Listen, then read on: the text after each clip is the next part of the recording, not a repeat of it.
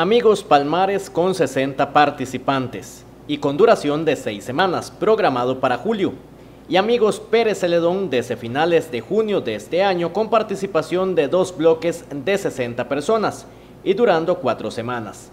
Así calientan estos dos programas que son parte de Amigos de las Américas, trabajando de la mano con la Casa de la Juventud.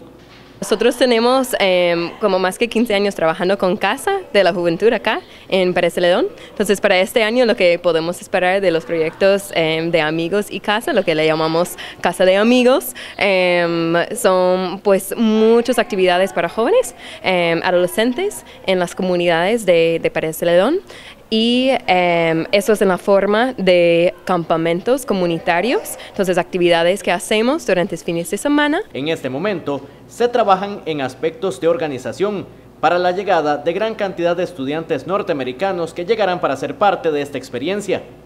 Logística, encontrar a las familias, este, pues empezar a trabajar ya en los planes de trabajo y en los temas que se va a trabajar con los chicos en las comunidades, en los em, mini proyectos en las comunidades, este, visitar los parques nacionales, todo lo que es con transporte, alimentación, básicamente logística todo este mes, eh, todos estos meses.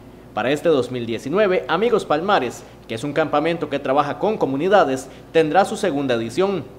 Sí, bueno, pues es el segundo año en que vamos a trabajar en los distritos al sur de Pérez, en Palmares, y vamos a trabajar en más que 25 comunidades y vamos a hacer un proyecto que es un poco diferente que el proyecto en Pérez, en que vamos a hacer campamentos comunitarios, en que vamos a traer todos nuestros participantes de los Estados Unidos y todos los chicos que están colaborando, colaborando con ellos a comunidades diferentes para unos fines de semana para hacer uh, microproyectos en las comunidades anfitrionas. Este programa se mantiene durante los 365 días, aunque su foco principal es a mediados de año. Ya damos oficialmente apertura al proyecto pues oficialmente pues porque tenemos ya las primeras visitas de lo que son las directoras del proyecto, pero un programa que, no se cierra en todo el año, desde que termina este, el proyecto, se inicia con el, con, desde que terminamos el, 2018 y iniciamos lo que es 2019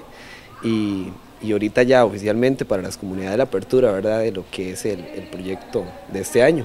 Igual, ¿verdad? Recordar que, que desde el año pasado iniciamos con lo que fue ya fueron los dos, los dos proyectos con un plan piloto de, Amigos Palmares, que es el de, campamentos en comunidades, y lo que es también el, de se continúa con lo que es Amigos Pérez Celedón, que es el proyecto que, que, se hace en campamentos en parques nacionales, ¿verdad? Para la directora de Amigos de las Américas, este programa combina una serie de elementos que lo vuelven atractivo lo atractivo y también lo diferente de amigos es que nosotros realmente enfocamos en el intercambio cultural de los jóvenes. Entonces no es solamente que nosotros llevamos, este, traemos unos jóvenes eh, extranjeros acá a la zona, sino que los jóvenes em, del, de Pérez también están muy involucrados en, en, el programa. Entonces ellos están participando en todas las actividades, en las comunidades, además de eso de, en los campamentos.